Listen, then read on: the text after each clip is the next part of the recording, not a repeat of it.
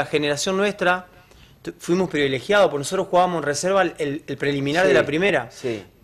Imagínate en color, año 95, 96, cuando Sí. Colón ascendió. Nosotros debutamos, ya pasamos de jugar con Atenas, Santo Tomé, con. Guadalupe, o sea, la Liga Santa Fecina, a jugar en la cancha de River, Boca, antes de la, de la primera. Sí, con sí. 50.000 el segundo tiempo, jugaba con la cancha repleta, en la cancha de Colón también.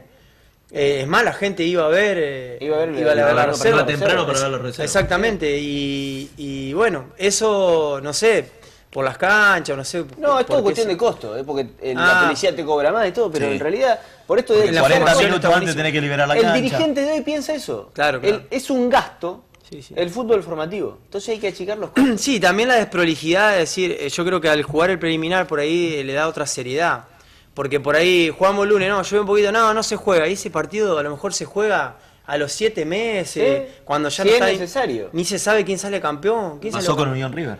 Claro, ¿quién sale campeón de reserva? A veces ni se sabe. Sí, sí, o le, sí. no, es campeón Unión, ponele, no, pero falta que juegue River un partido. No, River no lo va a jugar porque... Bueno, le pasó a Unión este año que Claro, peleaba, con River. peleaba el Unión título. con River. Por eso te digo, entonces, Y no jugaron Eso- en ese momento y dijeron, no, esperemos, esperemos. Si tiene una chance que lo juegue. eso es poco serio. Muy poco serio. Porque Eh. River no juega igual, porque Unión no juega igual ese partido, porque a lo mejor si lo jugaba dos meses antes lo ganaba de taquito. Claro. Pero, pero está todo dado vuelta en el fútbol argentino. Todo está dado. Sí, sí. eh, eh, pasa que el resultado acá nosotros no, no, no se tiene paciencia y, y en inferiores, bueno, uno lo ve. Si no, habla con los chicos que están trabajando en Colón, Unión y lo que te dicen que es mentira, que el fútbol. eh, no, se fijan en los resultados. Sí, sí. Se fijan y si no, fíjate lo que está pasando en Colón, Unión, que están jugando chicos de reserva, de AFA, eso porque la liga por ahí no, no está teniendo, que es difícil también porque los pibes de Colón Unión eh, son jóvenes y vos te enfrentás con equipos este, en Liga Santafesina, que son durísimos.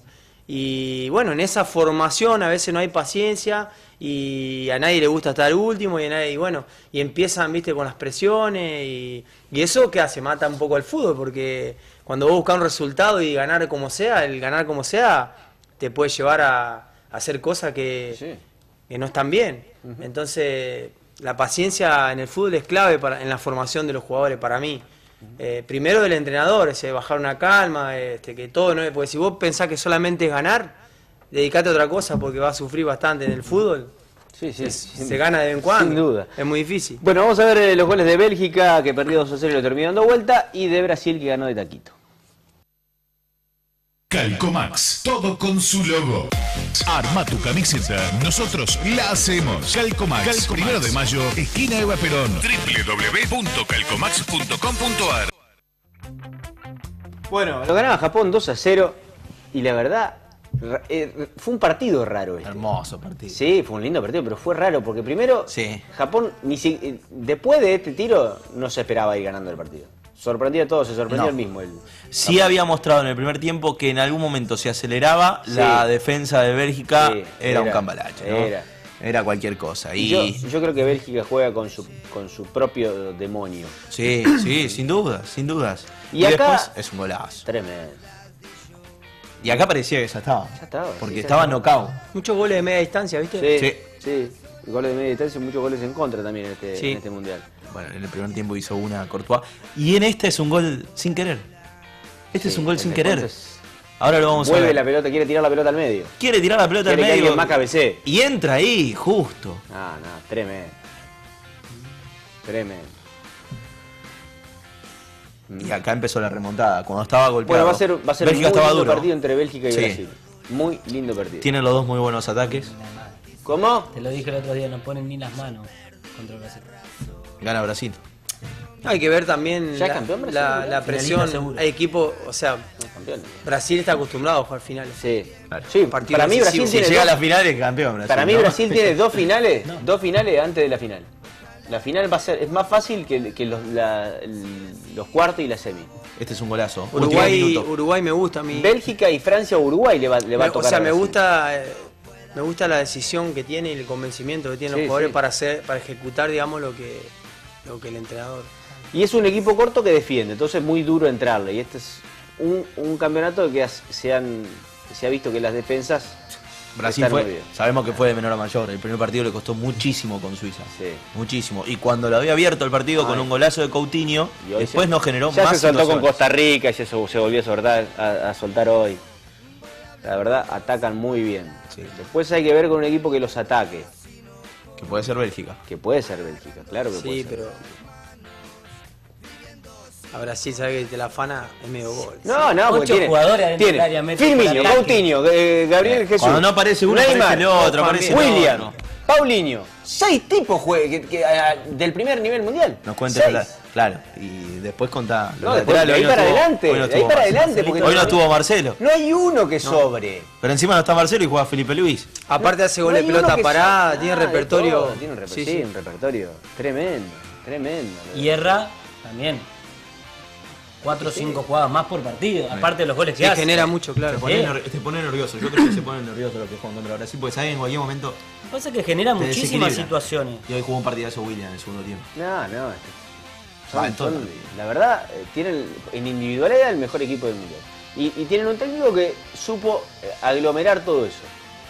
Poner ese equipo. Decir, bueno, yo pongo los mejores, pero corren, ¿eh? Fíjate, corren lo- de atrás y de adelante. Hasta Tite corre. Y los, corren todos. Los dos goles de hoy muy parecidos. Neymar Llega baja uno a con buscar la pelota. y llegan los otros por Hoy ahí terminó el partido y Tite dijo, Mira. Neymar se desconcentra. Tiene desconcentraciones. Sí, sí, claro. Muchas veces eh, da, Terrible. da indicaciones paternales. ¿Usted dice, Azoje, que el campeón de Brasil? No, no sé, pero creo que tiene, tiene chance, sí. ¿Mm? Y sí, Brasil siempre es candidato. Está bien, para mí Francia. Para usted, Bucolini, Brasil Francia- también. Pará, yo cuando te sumé a Francia a los candidatos, quería, no lo quería. No, en el arranque del torneo me dijiste. A mí me gustaría, a mí me gustaría, frío, loco. no se puede enfrentar eh, Uruguay y Brasil en la final, no en la semi. En la En semis. semi. En serio. A mí Uru- Uruguay No. me gustaría que pase ahora. Por eso, la, final, la final de Brasil va a ser o Croacia o, o Ese es un Inglaterra, lindo rival para, para Brasil. ¿Mm? Uruguay sería un lindo rival para Brasil en una En Sí, Uruguay es duro. Sin Sí, Cavani. Sí, sí, sí, ahora sin Cavani, ese es el tema. Lástima. Bueno, eh, ¿cómo va San Lorenzo? Bien, bien, ahí estamos, bueno, arrancamos, bueno, en un contexto general, digamos, hace un año y medio que estamos. El año pasado nos fue muy bien en las dos categorías, reserva y primera. Eh, tercero perdimos semifinal en, en primera y reserva cuarto de final. Y este año estamos en reserva clasificando bien, eh, a 10 puntos del, del último, digamos, le sacamos 10 puntos al, Sí. al- al que sigue atrás. Y en primera arrancamos una primera rueda floja en, en números, pero bastante bien en el juego, en algunos partidos, en otros hemos jugado mal. Y ahora levantamos esta segunda rueda, empatamos con Sarmiento Humboldt y ayer ganamos 5 a 1. Estamos a 6 de la, de la clasificación, faltan 27 puntos en, Sí. en juego. Pero bueno, con mucha esperanza de, de redondear un, un buen año. Jugamos con todos chicos del club, el 100% jugadores del club. Eh, ya desde el año pasado, una- un proyecto bueno que se, se armó así y se nos han ido varios jugadores de- del, del año pasado a este. Obviamente algunos dejaron, otros se fueron a, a un club donde, donde puedan ganar dinero ahí en, en- en el club. O sea, no, no- no se paga o se, se le da un viático nada más. Pero contento porque, bueno, con todos chicos del club, en, eh, siempre 35 jugadores entrenando. Eh, la verdad que el apoyo del- de la comisión en este proyecto es clave, por lo que hablábamos anteriormente. Sí, La paciencia, digamos, de, de tenerle por ahí a, lo- a los chicos cuando, cuando le faltan partidos. Y nosotros, bueno, contentos, siguiendo hacien- haciendo experiencia, con el mismo cuerpo técnico hace ya tres años que trabajamos en gimnasia, el profe Alejandro Osti y, y Nicolás Zuccarelli en la conducción técnica conmigo. Así que bien, eh, un club la verdad que muy lindo, nos cumplen en todo lo que nos prometieron, desde ya hace un año y medio, así que con toda la ilusión de, de poder volver a clasificar y vivir lo, que- lo que vimos el año pasado, hermoso, no perdimos ni un playoff, perdimos a penales. eh, con Unión de Esperanza, llegamos tres equipos de Esperanza, como hacía, nunca había Sí, pasado. sí. Salió campeón Juventud. Así que muy contento.